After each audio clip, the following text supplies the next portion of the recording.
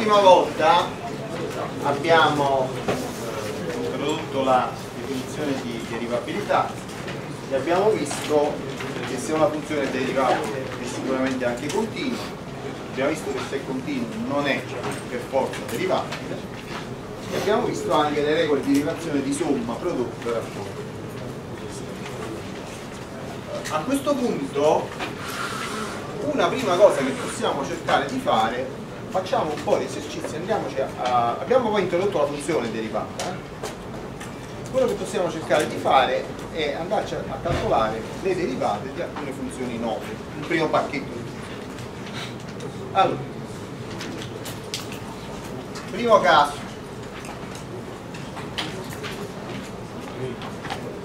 se f di x è una costante f' poniamo il punto x con 0 non è altro che uguale a c meno c al limite per x che tende a x con 0 c meno c fratto x. Quindi la derivata una costante è 0 secondo caso f di x uguale x. Se non specifico nulla il dominio è tutto R altrimenti dico vogliamo andare a calcolare il primo con 0 questo è il limite di x che tende x con 0 di x meno x con 0 tratto x meno x con 0 e fa 1 cosa ci devo mettere? f di x fa x, f di x con 0 fa x con 0, viene x meno x con 0. Fratto x meno x con 0 significa fa 1, il limite di 1.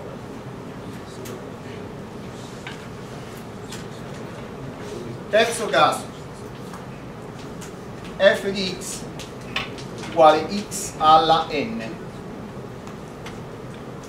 Stavolta devo fare eh, f' di x con 0 che è il limite per x che tende a x con 0 di x alla n meno x con 0 alla n fratto x meno oh, questo rapporto però è un rapporto notevole cioè si può svolgere prima di effettuare il limite e qua mi viene? X alla n meno 1 più x alla n meno 2 per x con 0 più, più x per x con 0 alla n meno 1 più x con 0 alla n meno 1 alla n. Qua meno 2 e meno 1 ok? Uh, come si fa a capire? provate a, a, moltiplicare questa espressione per x meno x con 0 allora quando moltiplichi per x viene x alla n.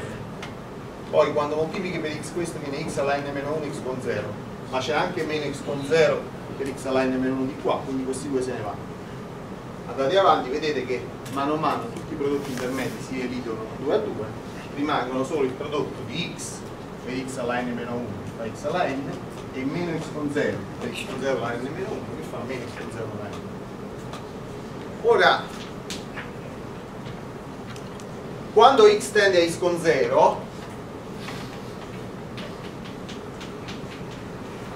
questo tende a x con 0 alla n meno 1 per quale motivo? perché abbiamo già dimostrato che la funzione x alla n è una funzione continua e questo? Pure. Per quale motivo? questo è fisso che vale x con 0 quest'altro tende a x con 0 alla n meno 2 il prodotto. Fa x con 0 alla n meno 2 e così via. Tendono tutti a x con 0 alla n meno 2 allora basta contare quanti sono questi attenti. Allora, questi, quanti sono questi addendi? Basta vedere il grado di x, n-1, n-2, 1, 0. Quindi abbiamo tutti i gradi che vanno da 0 fino a n-1. Quindi vuol dire che gli addendi sono n. Quindi questo limite fa n volte per x con 0 alla n meno 1. Quindi se io voglio indicare la derivata di una costante allora, f di x uguale c f' di x fa 0 f di x uguale x f' di x fa sempre 1 no? se f di x fa x alla n f' di x quanto fa n per x alla n meno 1 perché fa n per x alla n meno 1? di questa derivata noi l'avevamo calcolata in x con 0 se adesso la derivata la dobbiamo calcolare nel punto x ci dobbiamo mettere ok? Oh, questi due casi qua in qualche modo almeno questo è eh, pleonastico nel senso che se noi mettiamo n uguale a 1 ci ritroviamo che viene 1 per x alla 0 però i primi è meglio scrivere questo è il caso generale ok? stiamo parlando però di monomi. Uh, per le regole di derivazione delle combinazioni lineari adesso siamo in grado di derivare qualunque polinomio.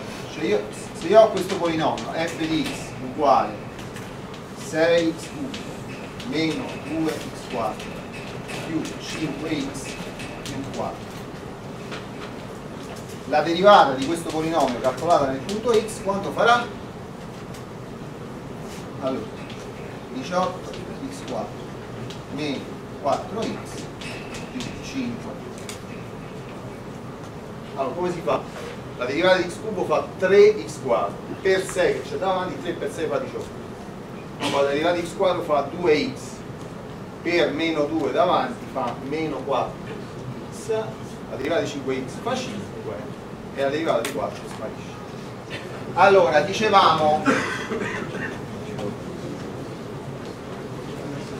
che tramite le regole di derivazione dei monomi che abbiamo appena svolto possiamo derivare qualunque polinomio.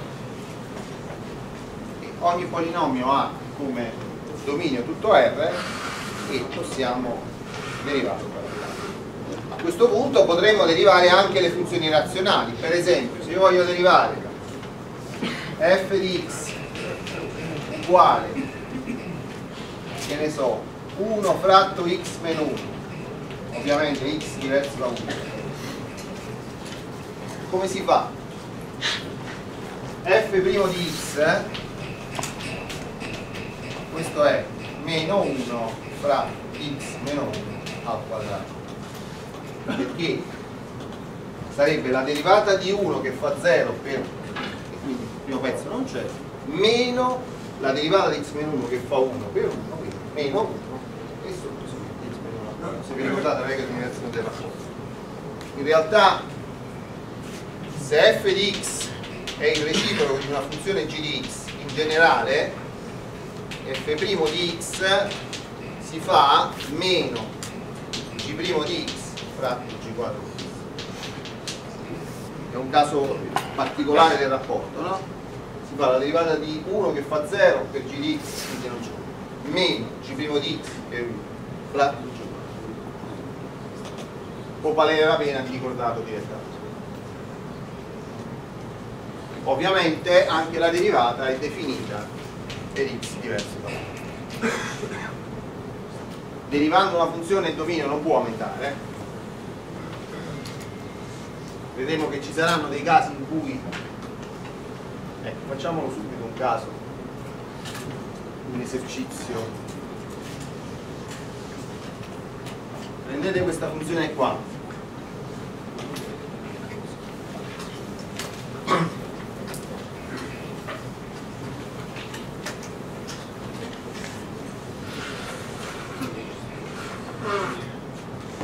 Allora andiamo a prendere questa eh, però non abbiamo la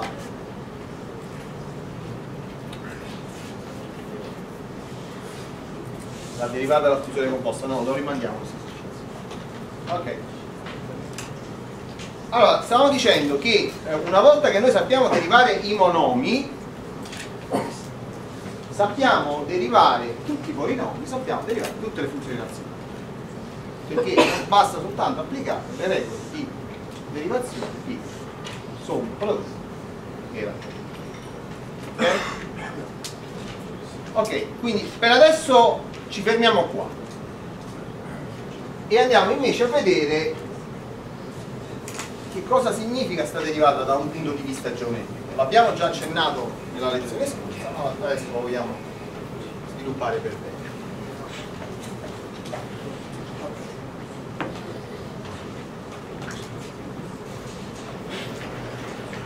allora.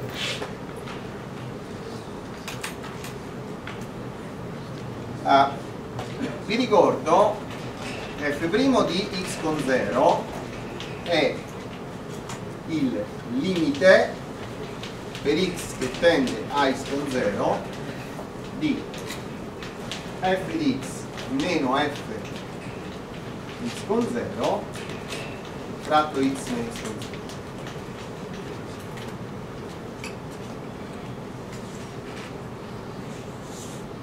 quindi questo equivale a dire che f' di x con 0 è uguale a f di x meno f di x con 0 fratto x meno x con 0 più qualcosa che tende a 0 qualcosa che tende a 0 si chiama O piccolo di 1 abbiamo già accennato, cioè una cosa che diviso per, per 1 tende a 0. Naturalmente x tende a 0. Questa uguaglianza, se io vado a moltiplicare per x meno con 0, equivale a dire che f' di x con 0 per x meno x con 0 è uguale a f meno f di x con 0 quando moltiplico per x meno x con 0 o piccolo di 1 diventa o piccolo di x meno x con 0 cioè diventa qualcosa che diviso per x meno x con 0 tende a 0 perché se è diviso per x meno x con 0 torno a quello di prima che tende a 0 adesso il tutto equivale a dire che f di x è uguale a f di x con 0 più f' con 0 per x meno con 0 più o piccolo di x meno con 0 ho portato questi due dall'altra parte. Attenzione qualcuno potrebbe dire vabbè questo l'hai portato dall'altra parte si vede è cambiato segno. Quest'altro l'hai portato da quest'altra parte e non hai cambiato segno. Perché? perché meno piccolo di x meno con 0 se vi ricordate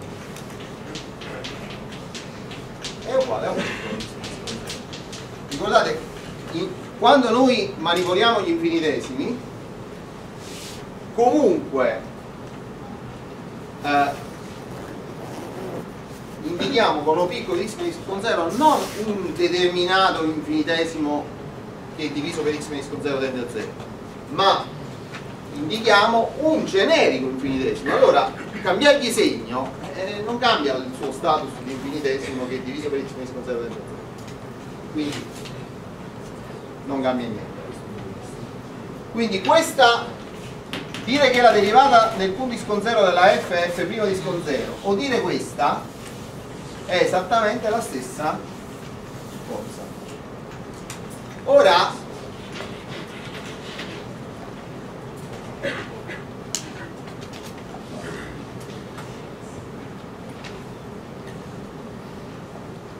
eh, cioè se io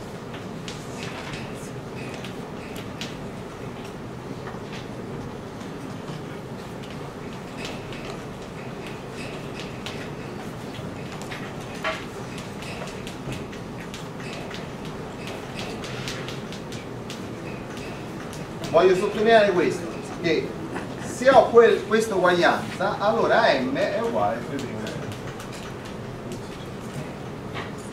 e in particolare esiste.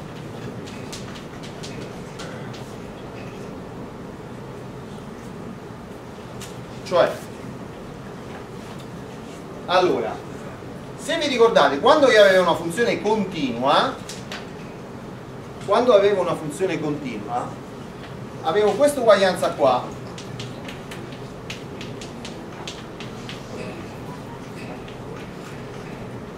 ok? io sapevo che f di x meno f di x con 0 tendeva a 0 cioè potevo dire che quando x tende a x con 0 f di x era uguale al valore nel punto più qualcosa che tendeva a 0 che abbiamo genericamente sempre chiamato piccolo di ok? questa è l'informazione che sto per una funzione continua.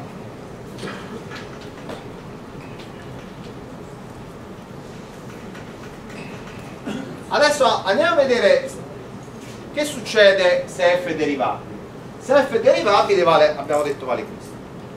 Più precisamente eh, io se voglio specificare questa uguaglianza un po' meglio cioè voglio scrivere f di con 0 poi o piccolo di 1 come lo voglio scrivere?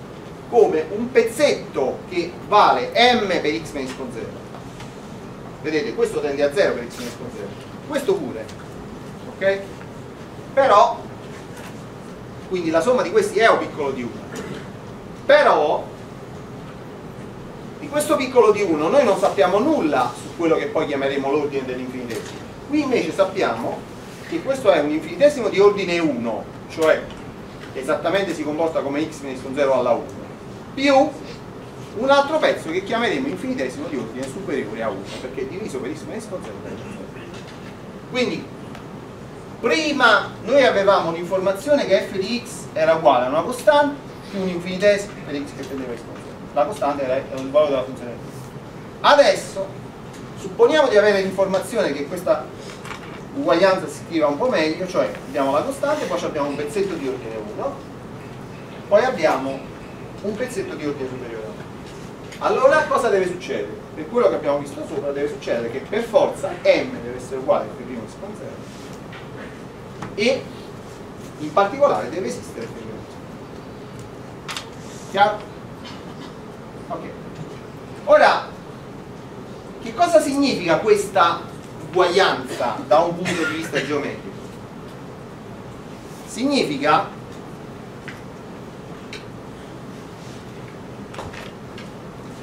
chi è? allora facciamo il grafico di una funzione f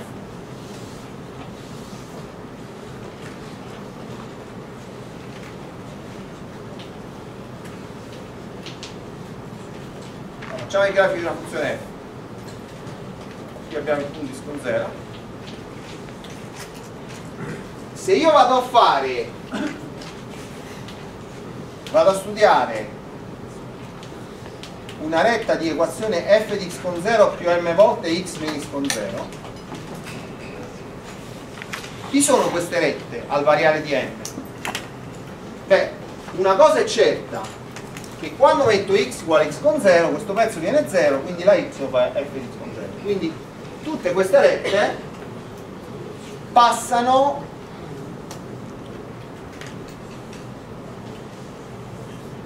tutte queste rette passano per il punto di coordinate x con 0 e f di x con 0 cioè passano per questo punto del grafico della fu tra tutte queste rette ce ne sta una sola, quella in cui m è uguale a f' di x con 0, che è speciale.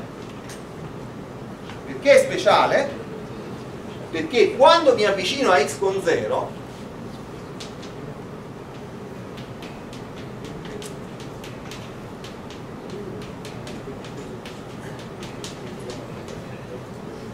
quello che avanza, se qua non prendo m uguale f' di con 0, ci sarà una differenza da compensare che sarà m meno f' di con 0 per x meno x con 0. Cioè io posso scrivere, lo scrivo meglio qua sotto. Eh.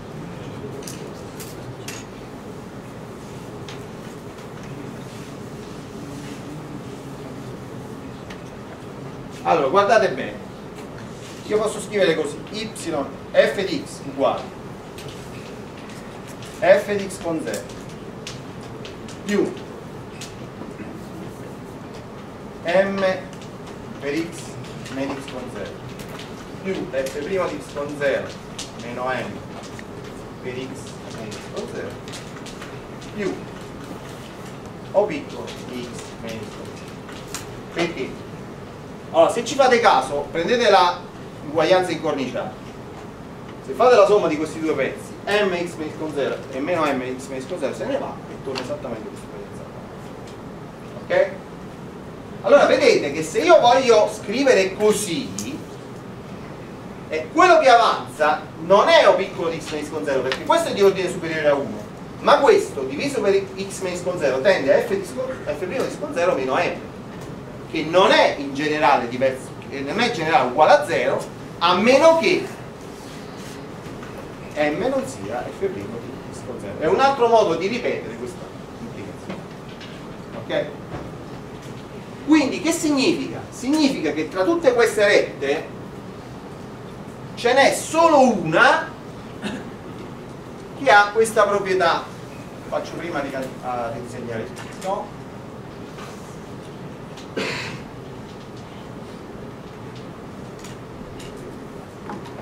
qual è la proprietà? ingrandiamo qua allora la proprietà è che quando mi avvicino a x con 0 il rapporto tra il delta y, diciamo eh, l'incremento della funzione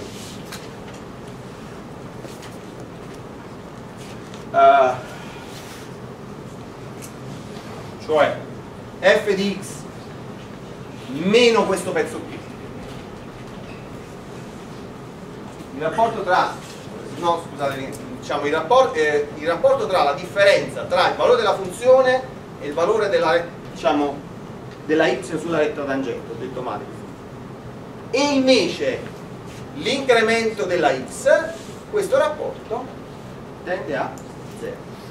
Okay? Uh, quindi la, lo status speciale di questa retta fa sì che possiamo dare a, a questa retta un nome particolare. Questa retta noi la chiamiamo per definizione retta tangente. Quindi per definizione quindi non, non ci sta una cosa da dimostrare sì. Allora, allora definizione. Si dice retta. Tangente. A. Grafico di f punto x con 0 la retta di equazione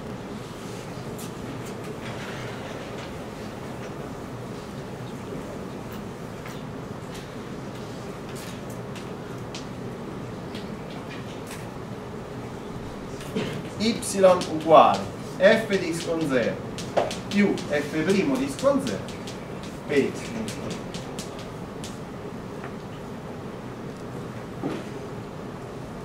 ok?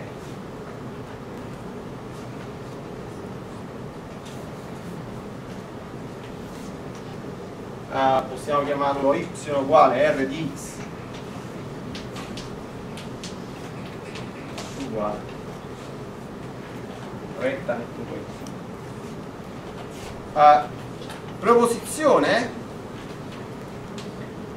r di x è eh, la retta tangente al grafico di F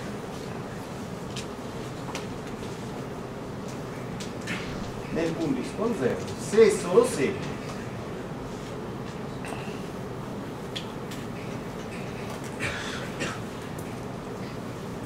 Il limite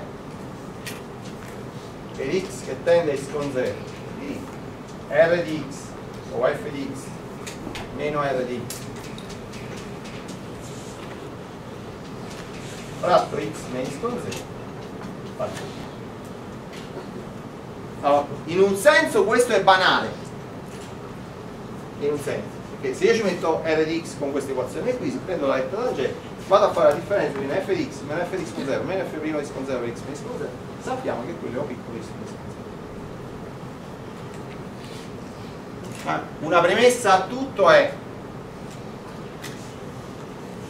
sia f derivabile nel punto la f non è derivabile x con 0 diretta tangente non si può fare viceversa se voglio una retta che faccia questo se io voglio che questo limite debba tendere a 0 allora la retta in x con 0 deve valere f di x con 0 perché altrimenti che succede? che quando x tende a x con 0 questo tende a f di x con 0 questo non tende a f di x con 0 e il limite non tende a 0 perché una costante su 0 ha più o meno infinito quindi per prima cosa qua ci deve stare f di x con 0 poi le rette che passano per f di x con 0 abbiamo detto sono queste qua. Le rette che passano per x con 0 e f di x con 0 sono queste. Ci vado a mettere, l'ho fatto già prima il conto ci vado a mettere f di x con 0 più m per x di x con 0 vado a fare la differenza. E vedo che questa differenza tende a 0 se e solo se m è uguale a f di x chiaro?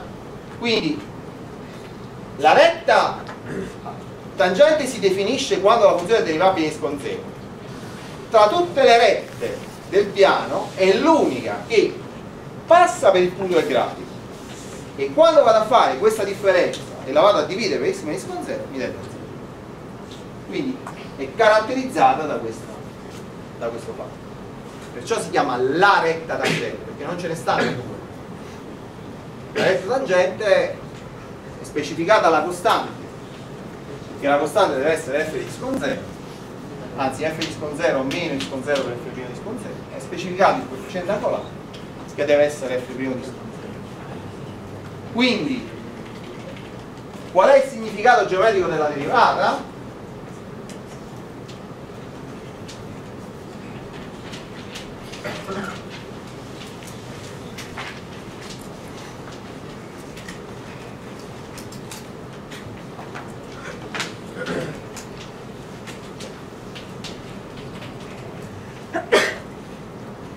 Allora, f' di x con 0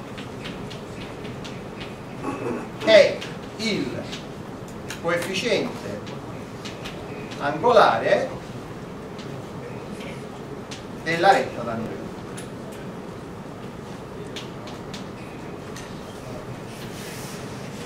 Al grafico di F nel punto con 0.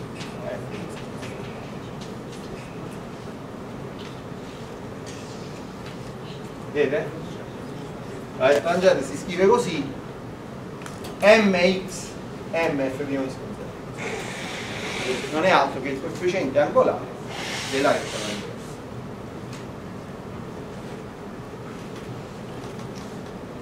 bene. E così conosciamo adesso anche il significato. Allora lo ripeto per l'ennesima volta. Dire che una funzione è continua significa io ho il valore della funzione del punto più qualcosa che tende a 0 quando mi avvicino a. Invece è, un teorema, è un, diciamo, la, la, la, una funzione derivabile ha una struttura. Se la funzione derivabile con 0 stavolta non è così e basta, è, è meglio, cioè la funzione è uguale al valore della funzione del punto. Sta scritto qua. più la derivata per lo spostamento dal punto che vedremo chiameremo infinitesimo di ordine 1 quindi questa è una costante che non è un infinitesimo è di ordine 0 questo è un pezzo che è infinitesimo che tende a x con 0 ma diviso per x con x con 0 normalmente non tende a 0 a meno che la derivata non sia nulla. E poi quello che rimane è un infinitesimo però di ordine superiore a 1 chiaro? Quindi è come se fosse un teorema di struttura una funzione continua è uguale al valore della funzione del punto più una perturbazione che tende a 0 per x che tende a 0 una funzione derivabile no è meglio. È. Valore della funzione del punto più un incremento che chiameremo lineare di ordine 1 più un'ulteriore perturbazione che però è di ordine superiore. Va bene? ok quindi questa è la situazione. A questo punto possiamo riprendere il nostro eh, diciamo specchietto calcolo delle derivate okay?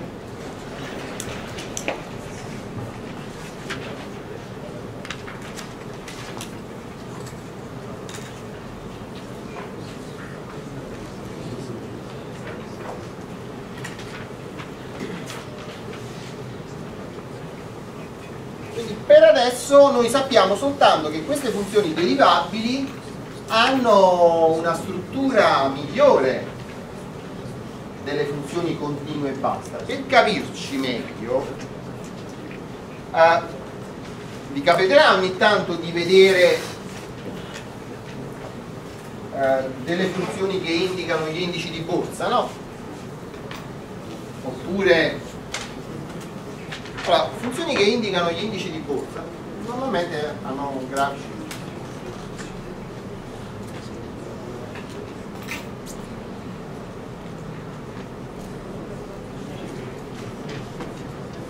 qualcosa del genere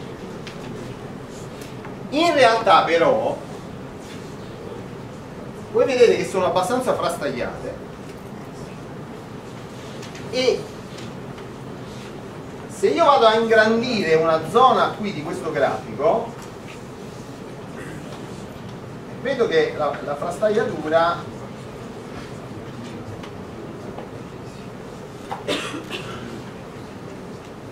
si ripropone anche a qualunque tipo di scala. In molti casi si può vedere effettivamente che queste funzioni sono continue ma non sono derivabili in nessun modo tipicamente una funzione del genere è continua non è derivabile da nessuna parte. Cioè non ha un grafico liscio come prima fatto che abbia questo grafico corrugato e che questa allora una cosa è che se il grafico è corrugato però andando a ingrandire il grafico si diventa più liscio. Allora in quel caso la funzione è derivabile solo che siccome le variazioni, diciamo le derivate erano molto grandi, eh, non, non, non, si capiva che la derivata fosse derivabile, che la funzione fosse derivabile su una certa scala. Ma se invece il grafico rimane collocato a qualunque tipo di scala, può capitare che effettivamente una funzione sia continua senza essere derivabile da nessuna parte. Questo è, è quello che tipicamente avviene. Poi possiamo avere, noi abbiamo già visto un esempio di una funzione non derivabile, abbiamo visto l'esempio della funzione valore assoluto, questo è il grafico, che aveva un solo problema in un solo punto, in tutti gli altri punti è derivabile. Ci sono però funzioni che non sono derivabili in nessun punto nonostante questo sono continui ci sono. Se ne possono dare degli esempi sia nella teoria che nella pratica ok? quindi quello che bisogna capire è che una funzione derivabile ha intrinsecamente per sua struttura derivabile in tutti i punti per esempio ha per sua struttura un grafico più buono più, cioè, in ogni punto la lettera tangente questo è il grafico. Questo è il fatto. Se lo vogliamo dire con precisione. Ok torniamo a, a vedere se le nostre funzioni sono derivabili o meno.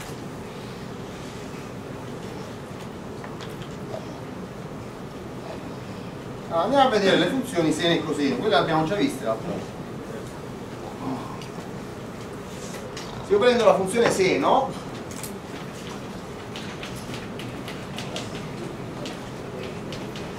abbiamo, abbiamo detto f' di x con 0 chi è? è il limite per x che tende x con 0 del seno di x meno seno di x con 0 fratto x che però per le formule di Prostafeli è uguale al limite per x che tende x con 0 di 2 coseno di x più x con 0 mezzi. Per seno di x meno x con 0 mezzi.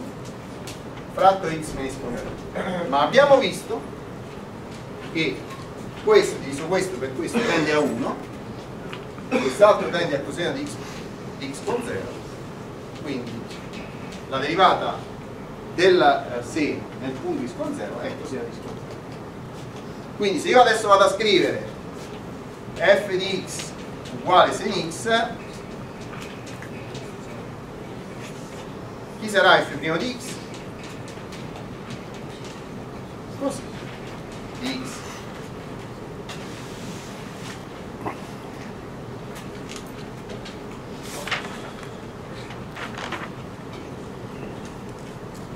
andiamo a fare la derivata di allora da una parte se ricordiamo il grafico della funzione seno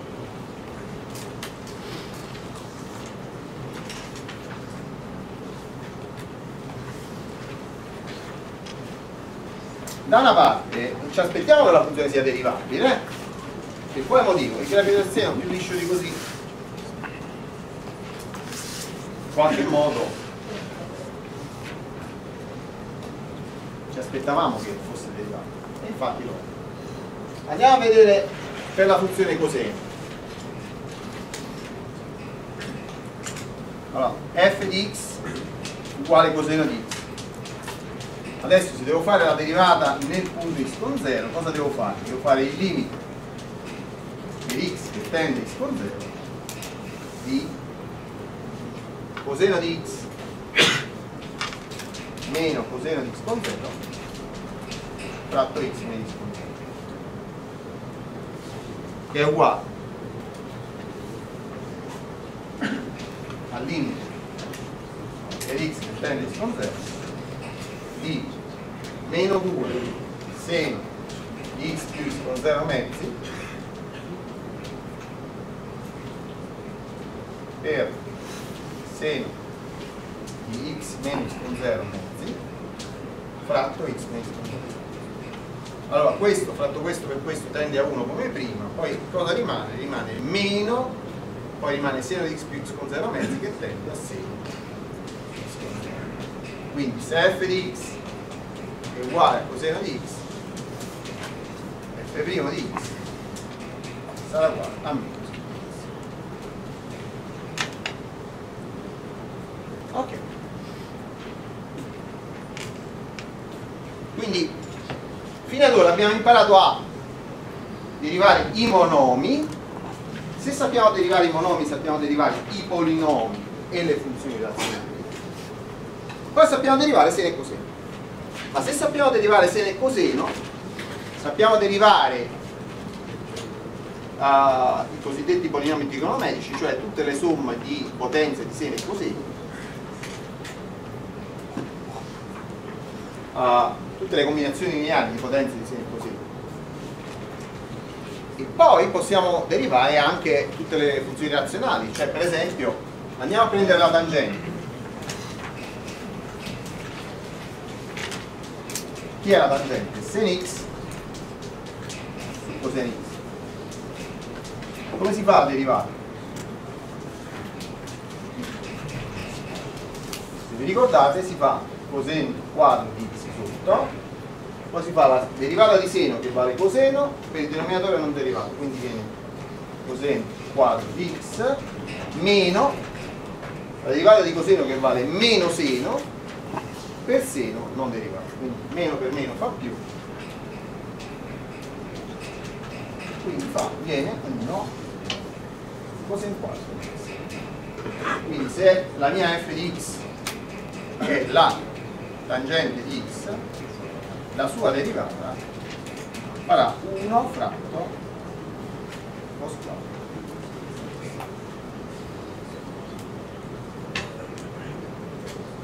E abbiamo ampliato un pochettino il nostro specchietto di derivata.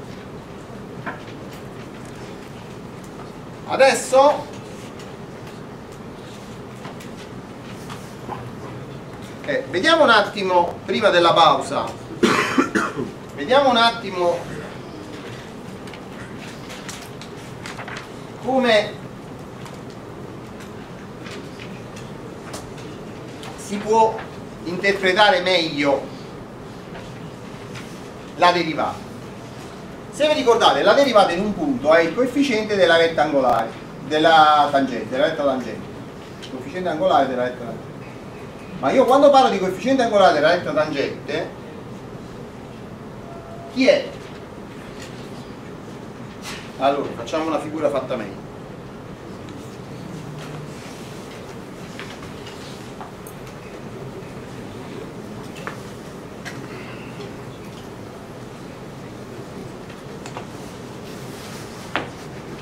Allora.